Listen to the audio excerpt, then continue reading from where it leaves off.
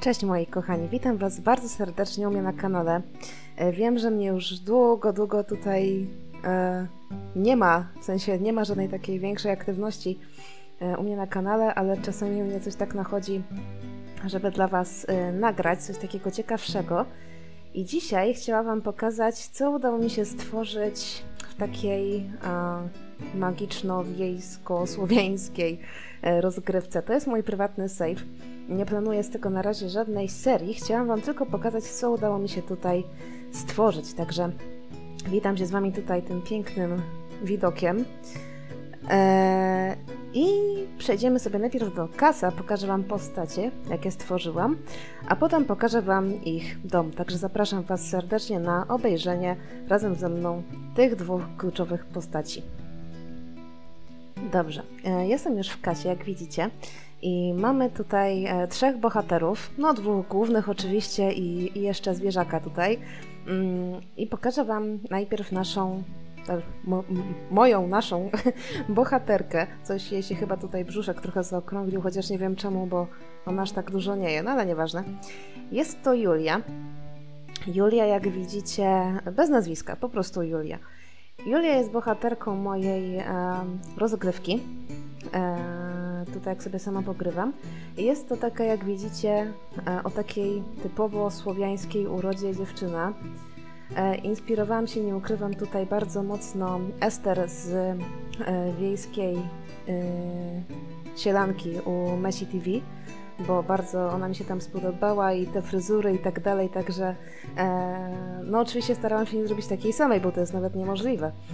Ale zainspirowałam się, bo ona naprawdę była piękna i chciałam zrobić o takiej dość podobnej, um, o takich dość podobnych rysach twarzy. Ma taką dość nietypową urodę, te oczy takie zamglone, rozmarzone trochę ma ale wydaje mi się, że wyszła bardzo, bardzo ładnie. E, jeśli chodzi o jej cechy, e, to tutaj chyba Amaya e, robiła film taki ciekawy o, o różnych modach i między innymi chyba Amaya. Nie dam sobie nic uciąć, że to była ona, ale tak mi się kojarzy, że też dawała takiego moda do stu nowych cech, które są po polsku i to są te takie cechy z tymi takimi ikonkami delikatnymi. No i jak widzicie, jej aspiracją to jest bycie wiejską opiekunką, typowo jak to e, na wsi w wiejskiej rozgrywce. E, jeśli chodzi o jej cechy, to jest delikatna. E, a, nie mogę teraz tutaj tego Wam pokazać, bo to nie jest ten tryb taki pełny do edycji simów. No ale tak, to jest delikatność, niewinność, ja to tak chyba, chyba tak to rozumiem. Jest ogrodnikiem oczywiście i jest marzycielką, ale również jest y, nietykalna. I to nie o to chodzi, że ona ma jakąś awersję do innych ludzi, do mężczyzn, czy, czy w ogóle. Ona jest bardzo przyjazna, ona jest bardzo taka właśnie delikatna, empatyczna, lubi ludzi i tak dalej.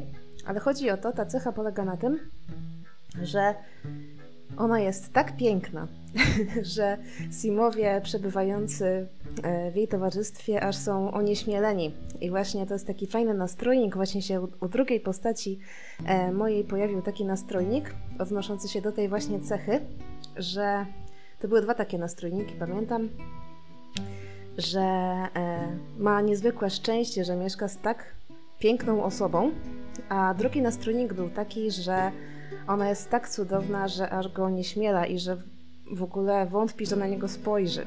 Tak. Czyli, czyli to, to, to jest takie fajne pierwsze wrażenie właśnie. E... No i tak, tak się prezentuje Julia w pierwszym swoim stroju codziennym. W ogóle znalazłam taką stronę z modami Satterly się chyba nazywa.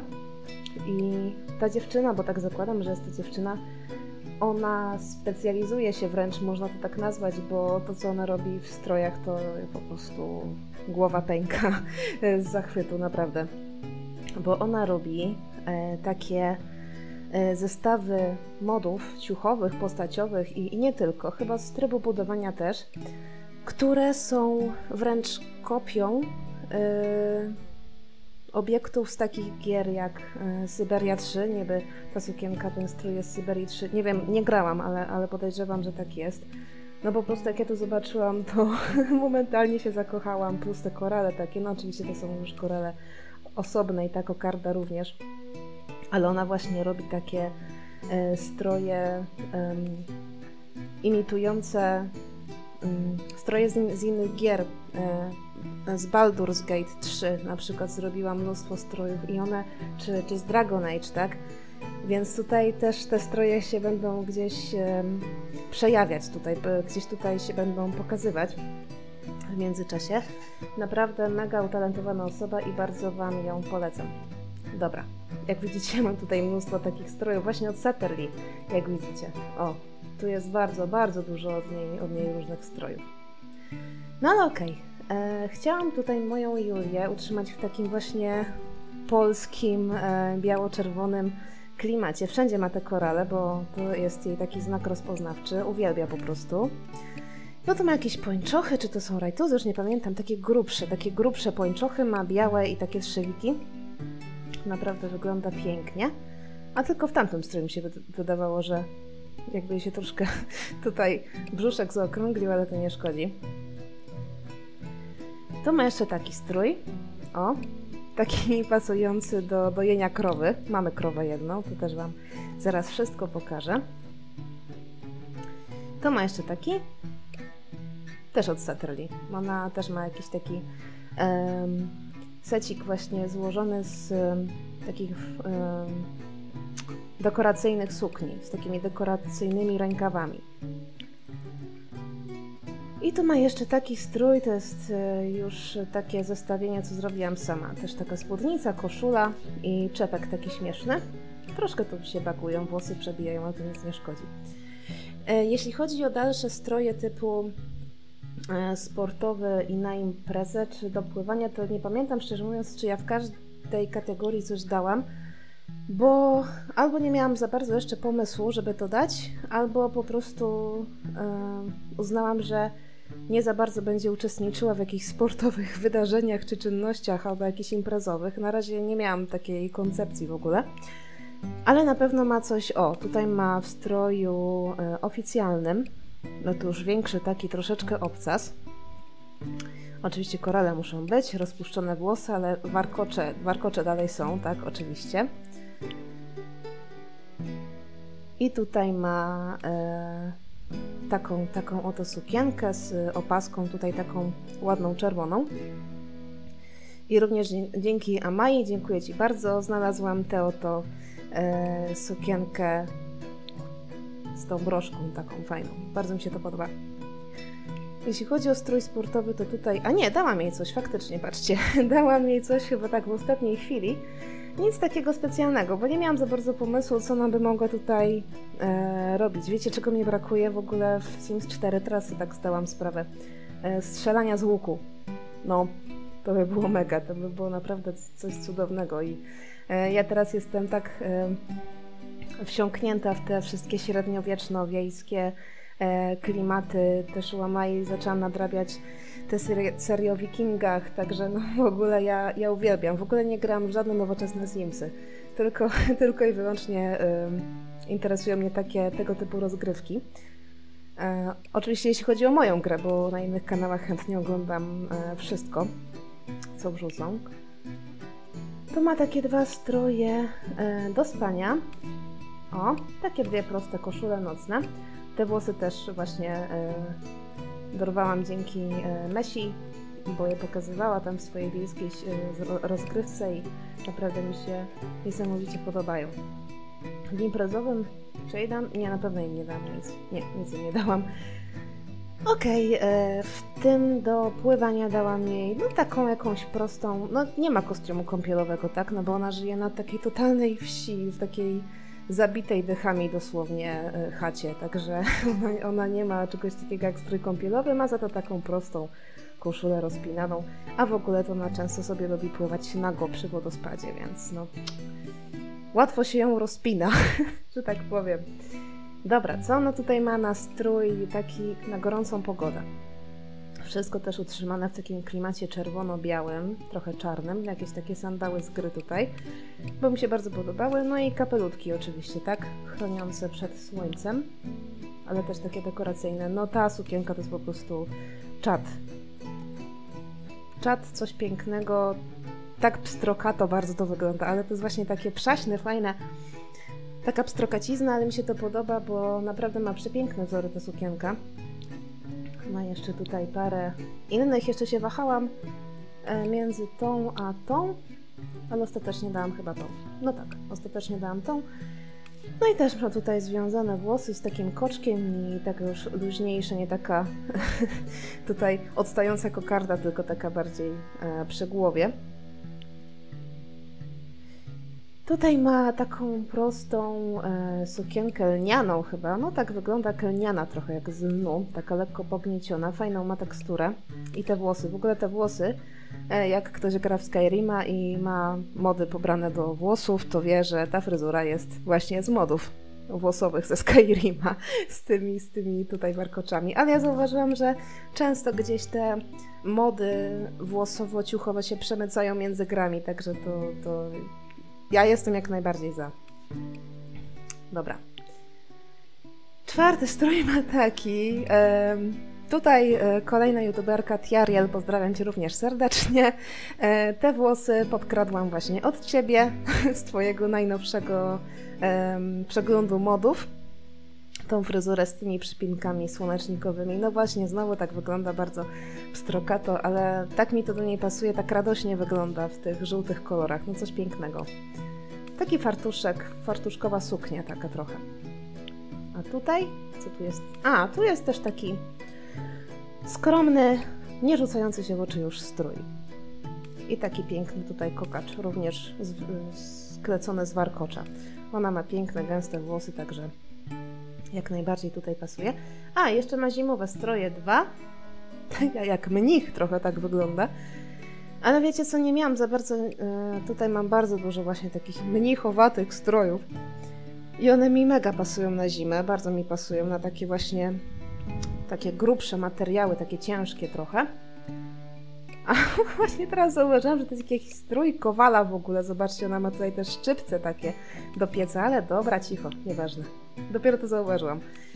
No i ma jeszcze taki, taką, taką e, kreację z taką tu narzutą ze skóry. O. Dobra. I wiecie co, wymyśliłam sobie taką króciutką historię do tej, do tej postaci, do tych dwóch postaci, no bo jest jeszcze jedna, bardzo, bardzo tutaj um, kluczowa, że Julia mieszkała sobie e, w swojej wiosce, w takiej odosobnionej chacie drewnianej, którą też Wam zaraz pokażę. No i ona się wszystkim zajmowała oczywiście sama. Sama chodziła na polowania, na, zbierania, na zbieranie różnych ziół do wioski i tak dalej. Sama zajmowała się gospodarstwem. Żyła po prostu sama. No i podczas jednej z wypraw do lasu e, została napadnięta przez e, stado dzikich zwierząt, przez niedźwiedzia na przykład. No i było już bardzo, bardzo niebezpiecznie.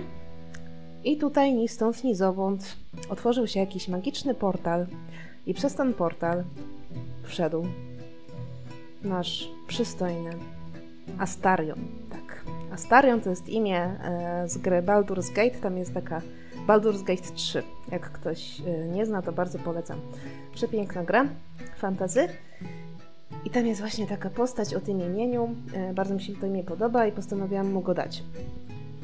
No i tenże Astarion, jak widzicie, jest y, magiem. Jest magiem, tutaj jego aspiracją jest czarowanie i czarnoksięstwo. Dodatkowo jest odważny, jest heroiczny, uwielbia naturę. E, jest też dziecięciem natury, tak, tak już, takie kombo już totalne, że jest heroiczny, odważny, kocha naturę, jest y, dziecięciem natury. E, I też najlepiej e, funkcjonuje przy świetle księżyca w nocy. Tak, więc nie wiadomo do końca skąd on się pojawił w tej wiosce. Może jakiś wypadek przy pracy.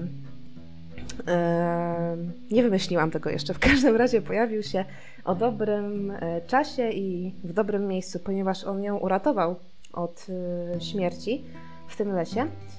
No ale ona, ponieważ była taka ona delikatna bardzo, więc była cała w szoku, spanikowana i oczywiście zemdlała, więc on ją przygarnął, zaniósł do tej chaty, bo to było dość blisko. No i zaprzyjaźnili się i postanowili, że, znaczy on postanowił, że on jej samej nie zostawi, bo no ona mu oczywiście się to bardzo spodobała, no bo piękna dziewczyna. e, co, ją, co go też trochę nie śmiela przez tą, jego, tą jej cechę nietykalna. No ale mieszkają razem, są przyjaciółmi i on jej bardzo, bardzo w tym gospodarstwie pomaga. Ok, przechodząc do jego strojów, taka krótka, e, takie kró krótkie tło historyczne, e, nic takiego wyszukanego, ale chciałam dać im jakąś taką króciutką historię, żeby fajnie mi się grało. Tak oto wygląda Astarion z bliska. No fajny jest, no przyznajcie sami, że jest bardzo, bardzo fajny. Ma dużo blizn, bo no, po tym starciu z tymi dzikimi zwierzętami naprawdę e, od, odniósł bardzo wielkie rany. E, aż wręcz takie głębokie na całym ciele. Tu na twarzy ma tylko taką szaranę, nic takiego specjalnego. Ale no naprawdę się mm, poświęcił, poświęcił się dla, dla tej złotowłosej niewiasty. Tak wygląda w stroju kolejnym codziennym. Tak starałam się go ubrać właśnie w takim mm, średniowiecznym stylu, ale żeby pasowało właśnie do jego profesji maga. tu ma taki strój. Nie mogłam się po prostu oprzeć e, tej czapce z lisa, no bo on też się wybiera na polowania. No i żeby się, wiecie, e, uchronić przed, tak jakoś skamuflować w krzakach i, i, i w lasach e, przed dzik, dziką zwierzyną, no to właśnie wybiera się na polowania w takim oto stroju. Chociaż czasem mi się przebiera zupełnie coś innego, ale nie mogłam się po prostu powstrzymać przed tą czapą. Fajna jest. E, i, I też ma takie stroje właśnie typowo magiczne, takie no widać, że to jest, no że to nie jest taki typowo, typowy strój e, chłopa ze wsi, nie? widać, że nie jest zdecydowanie. E, to jest też, jak widzicie, od Saperli. No ona ma cudowne te stroje, naprawdę, to jest coś pięknego, że można przemycić te stroje z innych gier fantazy do, do simów. To, to jest ekstra. Naprawdę. O, tu coś jeszcze ma. Tu mu jeszcze nic nie dałam. Poczekajcie, zaraz zobaczę, co to jest. tu ma taki fajny kapelusz. Ale śmiesznie wygląda, no, z taką tu kapotą. Te detale, ja uwielbiam takie stroje z detalami, wiecie? Ja uwielbiam e, takie różne klamry, że tu jakaś sakwa wisi przy pasie, że tutaj są jakieś sznurki, takie wiązania. No super to wygląda. Bardzo lubię takie, takie szczegóły. Bardzo to jest klimatyczne. No oficjalny nie dałam mu na 100% nic, więc Wam nie pokażę. O, tutaj sportowy, bo on ma też takiego manekina drewnianego, e, średniowiecznego i on sobie na nim ćwiczy ciosy, żeby e, budować, e, wzmacniać krzepę i budować muskulaturę. On jest w ogóle dość umięśniony, bardzo szczupły, no ale podbijam mu to, żeby, no zobaczcie, jak go tutaj zmasakrowały te zwierzęta. Ale fajny jest, przystojny jest, uważam. Do snu ma taką prostą, prostą koszulę, nic takiego e, specjalnego. Na imprezę na 100% nie ma nic. Do pływania też ma jakieś takie gadki. To są akurat gacie z gry. Spodnie z gry. Takie mi akurat pasowały z tym takim pasem właśnie tutaj. To jest chyba w ogóle z tego dodatku spa, ale nie jestem pewna. Na gorącą pogodę dałam mu jeden strój taki z taką koszulą no uwielbiam te wszystkie pasy takie, e, te, te tekstury, te, te warstwy takie różne, no super, super to wygląda i pasuje do takich rozgrywek. Natomiast jeśli chodzi o zimną pogodę, to właśnie on Wam się pokazał w takim jednym stroju. Takie ciężkie buciory akurat na zimę się nadadzą. A i ma jeszcze taki, no widzicie, no widać, widać, że on nie pochodzi z tego świata, nie? Ma takie inne stroje, ale coś mi się tu jeszcze prze... prze e, Uuu. O, to też fajne. Może mu zostawię takie coś? Fajne, ale ma to inne kolory? Nie, nie ma innych kolorów. Ja właśnie ostatnio coś też pobierałam i chyba to też pobrałam. Fajne, fajne. Zostawię im to. zostawię, zostawię mu to. Niech sobie ma. I jeszcze e, Julia mieszka, mie, mieszkała, teraz mieszka ją razem ze Starionem, z takim wilkiem, który został y, przegarnięty właśnie z lasu, nazwała go Kieł, tak Chciałam dać biały kieł, ale już mówię, dobra, nie będę przesadzała. E, tak, no i to jest, to jest mm, piesek pobrany z galerii, bo ja e, nie potrafię do końca jeszcze robić tych, e, tej sierści takiej pięknej u zwierząt. Ja wiem, widzę, że jak niektórzy to robią i naprawdę super to robią, ja nie potrafię jeszcze tego robić. Ale pobrałam właśnie takiego pieska No i to nie jest e, absolutnie domowy piesek. On jest oczywiście bardzo oddany, on chroni tutaj nasze gospodarstwo i, i swoich właściciele przed niebezpieczeństwami, ale on zdecydowanie jest e, myśliwym. On lata cały czas po lesie, jak widzicie jest tropicielem, jest niezależny i jest myśliwym, tak, dokładnie, dokładnie tak. Także on cały czas nam znosi jakieś tutaj prezenty, jakieś artefakty ostatnio mi przyniósł, także fajnie, fajnie. No taka, taka jest tutaj moja, powiedzmy, że rodzina z przypadku. O, dobra. A teraz pokażę Wam ich chatę i całe gospodarstwo. Ok, e, tak prezentuje się całe gospodarstwo e, z góry. E, powiem Wam, że czasami się tak zepnę w sobie i e, staram się tworzyć te parcele sama od początku. E, I tak było też w tym przypadku, tak samo w dziesięcioleciach. To są dwie parcele, które zrobiłam sama od A do Z, bo ja tak to nie, jak wiecie, nie, nie, nie robię, bo zazwyczaj nie mam pomysłu i tracę trochę cierpliwość do tego budowania, ale tutaj jakoś tak się miałam po prostu, czułam klimat tego, nie? To chyba trzeba czuć po prostu klimat tego, co się robi. Jedyne, czego nie zrobiłam sama, to są y, stawy. Są tutaj dwa stawy, y, gdzie oni sobie lubią pływać czasem. Też z racji tego, że nie potrafię po prostu robić ładnych stawów, żeby to tak ładnie dziko wyglądało, bo zależało mi na tym, żeby to wyglądało na taką trochę dzicz chatę taką umieszczoną, wiecie, gdzieś tam w lesie przy, przy drodze, e, w środku lasu. Tak więc e, stawy są pobrane z galerii, e, z pomieszczeń. No dobra, na tabie Wam tego nie będę pokazywała, bo puszczę po prostu rozgrywkę. Niech oni sobie tutaj robią co chcą. No i tak, tak się tutaj wchodzi do, do naszej posiadłości, że tak powiem, do do, do chaty naszej. Tutaj dałam oczywiście ten znak y, ze średniowiecznej książki kucharskiej, żeby mogli się wybierać tutaj do y, tych różnych miejsc. Tutaj dałam taką starą, starą studnię. Ona jest, tutaj dużo rzeczy jest typowo dekoracyjnych i one nie są do, do korzystania, tylko do oddania klimatu po prostu. Tu jakiś wóz taki stoi. No wiecie, chciałam tutaj umieścić jak najwięcej takich fajnych y, detali. Jeśli chodzi tutaj o tą kryjówkę taką jakby, no to e, Astarion jakoś tutaj e, przeteleportował chyba te wszystkie magiczne swoje atrybuty. Tutaj ma ten kocioł taki do, do eksperymentowania. Widzę, że Julia tutaj bardzo lubi e, majsterkować przy tym stole. No i tutaj też mu posadziłam tak na dziko, że niby rosną, wiecie, te różne e, kozłki i mandragory. To jak niektórzy mogą e, pewnie poznać e, z The Sims średniowiecze, to też, też można jak najbardziej pobrać takie rzeczy, które były tam. I naprawdę The Sims średniowiecze miał tak cudowne obiekty, że naprawdę się cieszę, że można coś takiego dać w czwórce, nie? To samo po prostu, to samo. No i tutaj do eksperymentowania, do, do, do robienia mikstur i, i tak dalej.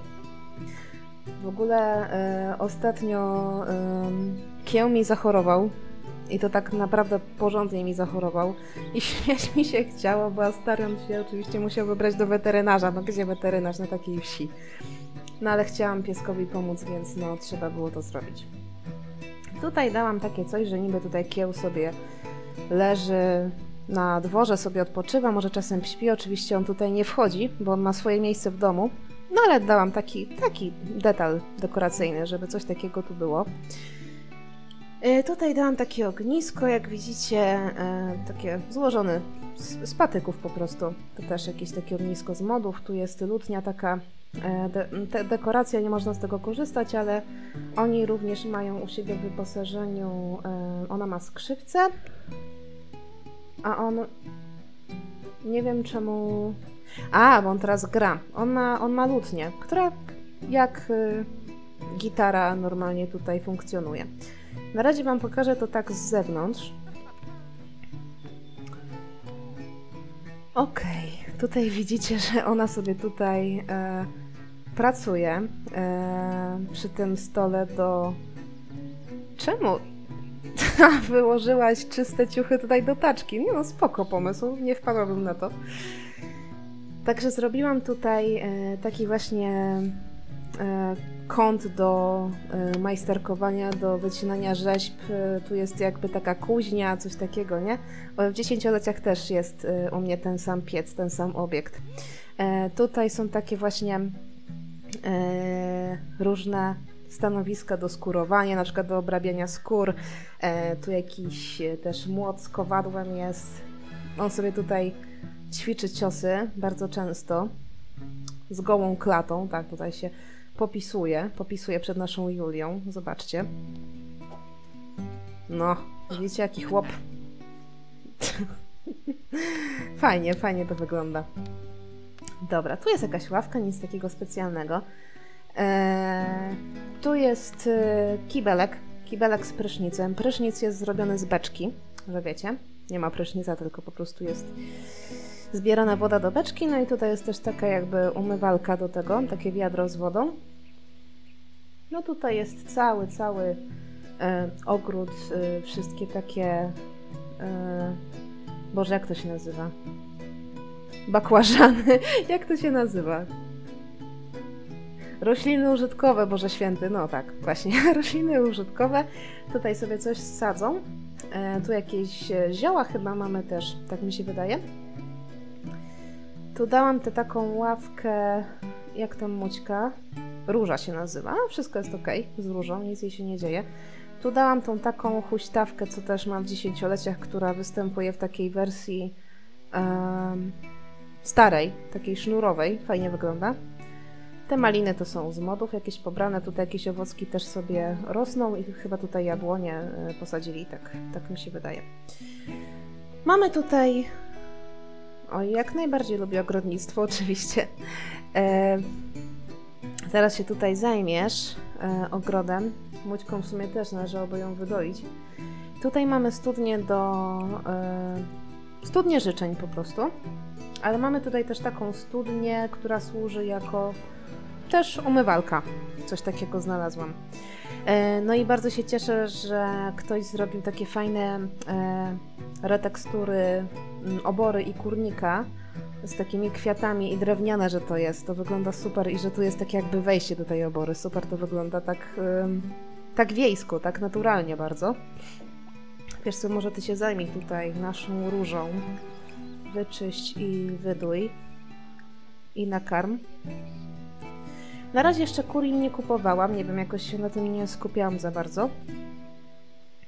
Ja tu mam bardzo dużo drzew, dlatego to mi tak y, znika cały czas.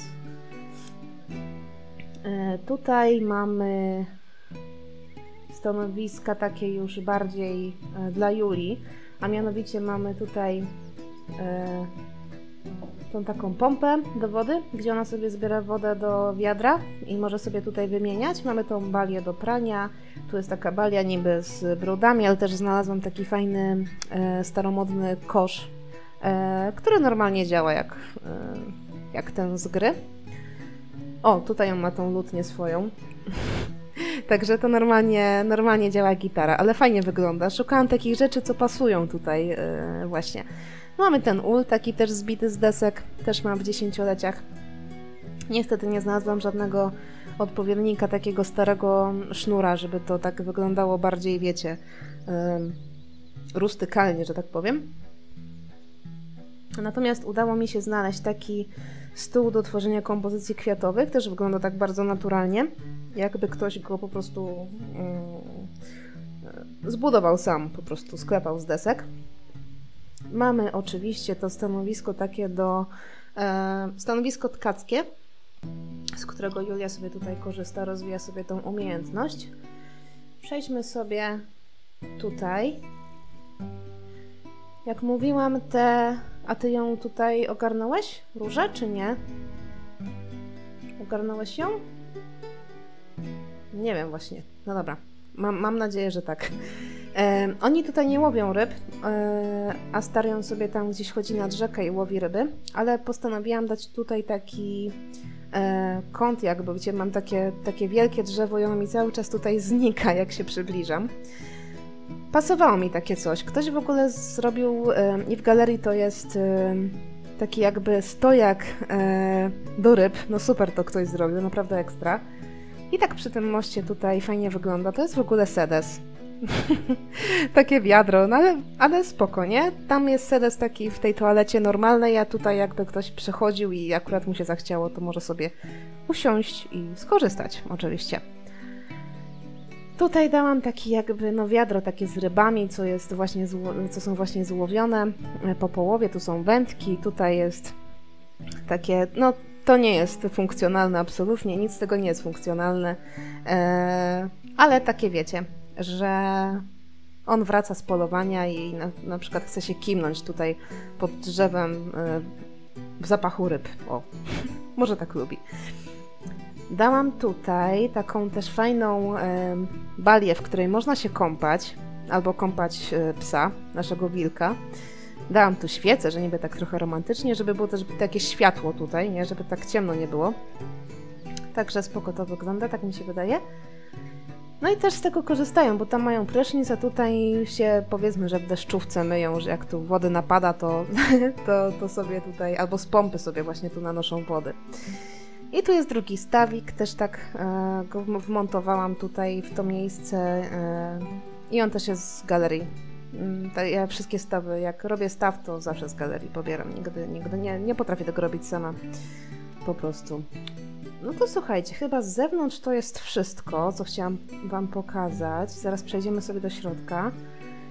Tutaj też dałam jakieś takie doniczki, tu jakaś świeczka też stoi, żeby tak trochę oświetlało w nocy. A co robi nasz piesek? A ty tu jesteś, kochany. Już Wam pokazuję, jak to wygląda od środka. W ogóle ta skrzynka pocztowa, gdzie są te gołębie pocztowe, to też jest y, pobrane y, na pełni niska. Y, to też jest z desymi średniowiecza. Także to jest naprawdę y, super, że tak to przenoszą do czwórki. Ok, no i wchodzimy sobie tutaj do środka. Astarion widzę, że sobie tutaj y, legnął na, na łóżku, sobie śpi. Powiem Wam, że zatrzymam na sekundkę. Powiem Wam, że chata jest naprawdę bardzo malutka. Zobaczcie. To są ledwo dwa pomieszczenia i ta łazieneczka taka maleńka. Ale właśnie no, ona mieszkała sama tutaj, Julia, przez całe swoje życie, aż do momentu poznania naszego maga, elfa, Astariona, przystojniaka, przy, przystojniaka z portalu, z nie wiadomo kąt. Tak. E, no i tutaj sobie wchodzimy. E, tu jakaś taka ławka, żeby sobie usiąść. Tutaj są też jakieś takie spolowań rzeczy, jakiegoś jelenia tutaj Astarion upolował, bo wątpię, żeby Julia upolowała jelenia, ale kto wie. E, tu jest taki wielki, wielki kominek. Jakiś plecak tutaj sobie stoi na podróże. Wiecie, im więcej takich pierdół, tym lepiej mi się gra w takie, w takie rozgrywki. E, I to naprawdę tak mi wszystko pasuje. Tu są jakieś kusze, łuki, strzały, miecze. E, tu jest ta funkcjonalna miotła. Bardzo się cieszę, że ona w końcu jest e, bezpłatna. Bardzo się cieszę, bo ta animacja naprawdę jest ekstra. Tutaj się jakieś też łupy zostały odwieszone tu na ścianę. No, tak to wygląda właśnie. O, tu mamy jakiegoś niedźwiedzia groźnego. Może to jest właśnie ten, co zaatakował Julię i którego zgładził Astarion, kto wie. Tu mamy beczkę taką, w, która służy, służy jako bar. Fajnie wygląda, tak klimatycznie. Nie wiem dlaczego za każdym razem, jak tu wchodzę, to znikają mi świece tutaj, bo powinny być świece w tym takie wetknięte, takie jak, no, które tu mam? O, takie jak te. Cały czas mi znikają stąd, jak tu wchodzę, no ale nieważne. Tutaj wchodzimy sobie do kuchni i jadalni jednocześnie. Ja wam może pokażę z tej strony. Jakieś tu kuchnie, jakiś tutaj bulion, to wygląda jak flaki trochę. Fuj, nienawidzę flaków, ale fajnie, fajnie to wygląda, że tu zawsze, wiecie, Astarion wraca z polowań i zawsze tu jakaś ciepła strawa na niego czeka. Eee, dalej też jakieś kuropatwy, kaczki, e, no wszystko co oni tam upolują to dają tutaj po prostu do kuchni, która służy też jako spiżarnia oczywiście. Mamy ten młyn funkcjonalny, taki staromodny, ten śmiewnik, który e, jest kompostem po prostu. Mamy oczywiście średniowieczną księgę kucharską, tu jakieś ziemniaki, jakaś woda do mycia warzyw, wiecie, no wszystkie takie potrzebne rzeczy. Tu też jakieś pierdol, jakiś czosnek tu wisi, worki z przyprawami czy z mąką na przykład. To jest fajna rzecz, bo to funkcjonuje jako lodówka. To jest normalnie lodówka. O. Oczywiście animacja jest taka jak przy lodówce, że ona podchodzi, otwiera to wszystko. E, I to jest sama taka goła półka, ta lodówka. Ja tutaj te rzeczy wszystkie wstawiłam sobie sama, żeby, wiecie, było widać, że to jest spiżarnia. Jakieś mięso, jakieś chleby, coś takiego. Mamy tutaj e, też taką umywalkę. E, cieszę się, że ją dorwałam w końcu, ona mi działa, bo wcześniej też ją miałam, ale nie działała mi kompletnie i nie wiem czemu. Coś, coś się magicznie naprawiło. A, są te świece, tylko one się bagują, znikają mi tu, widzę. No ale okej, okay, trudno. To jakieś takie pierdoły niefunkcjonalne. A co to? Eee, bo to jest jakiś nóż do skurowania prawdopodobnie. Nie można go oczywiście użyć, ale powiedzmy, powiedzmy, że on do tego służy. No to jest ukochana moja rzecz do wszystkich takich wiejsko-średniowiecznych rozgrywek, czyli ta, e, ta przecudowna e, kuchenka e, na opał, na drewno. Także super. To jakieś mięsiwa sobie leżą. No, także ciężko mi było znaleźć szafki jakieś takie pasujące, takie właśnie zbite z desek, nie? Żeby to wszystko takie było, no po prostu drewniano-kamienne. Tylko tyle. Ciężko mi było coś takiego znaleźć, ale jakoś tam dorwałam jakieś, jakieś takie szafki i tak sobie tutaj jest. No i oczywiście na podłogach skóry zdjęte ze zwierząt, takich większych, tutaj też. No i przechodzimy tutaj do tak zwanej sypialni. To jakaś taka zasłona utkana oczywiście przez Julię na tym stanowisku do e, tkania. Na razie łóżka są pojedyncze, dwa pojedyncze. Jakieś kwiaty suche, wiszą na ścianach jakieś zioła. E, no, taka mini biblioteczka, coś tutaj mają sobie, żeby, e, żeby no, się też edukowali w tych swoich umiejętnościach. No i ostatnia rzecz, to tu mamy też kominek, krzesełko takie Tutaj też e, są instrumenty, tylko po prostu te służą jako dekoracja, a oni mają swoje już w wyposażeniu. No i tu jest e, legowisko mm, dla kła, dla naszego wilka. No, także tak chciałam się z Wami podzielić. Poka a właśnie, miałam Wam pokazać jeszcze łazienkę, czekajcie. Miałam Wam pokazać łazienkę. Weź, weź sobie prysznic. Łazienka wygląda tak, może ja zdejmę te, te ścianki, może tak mi się jakoś uda, że tu jest y, sedes z taką dziurą oczywiście, jakieś lustro, no i fajnie, fajnie, że z tej beczki tak sobie tutaj mogą brać ten prysznic, to jest bardzo, bardzo fajne. No, także słuchajcie, tak to właśnie się prezentuje. Ja czasami lubię tak sobie potworzyć sama też dla siebie, ale Później sobie tak myślę, że fajnie by było Wam to pokazać. Mm, jak mówiłam, nie planuję z tego jakiejś e, serii na pewno, bo na razie to ciężko u mnie o, o jakąś systematyczność. Niestety, no, będę robić wszystko, żeby się to zmieniło, bo e, naprawdę uwielbiam nagrywać. Naprawdę kocham nagrywać i dlatego teraz ostatnimi czasy, mimo że jest mniej tej aktywności na kanale, to czasami lubię coś takiego dla Was e, wrzucić, bo to po prostu sprawia ogromną przyjemność. A co będziesz robił? Łoty, to jesteś porządny chłop. No dobra, także myślę, że to by było na tyle, jeśli chodzi o, o ten mój e, safe prywatny, średniowieczno-wiejski. Mam nadzieję, że Wam się spodobał. Dajcie mi koniecznie znać, co o tym sądzicie. Czy Wam się podoba takie coś? Czy sami gracie e, w takim stylu? Bo mówię, ja ostatnio naprawdę, naprawdę e, kompletnie zostałam wchłonięta przez takie klimaty w Simsach. Uwielbiam, uwielbiam po prostu. Żadnych miast, żadnych e, nowoczesnych e, tutaj klimatów. Po prostu zwykła, piękna wieś i natura. Także trzymajcie się kochani cieplutko i do usłyszenia, mam nadzieję już niebawem. Pa, pa.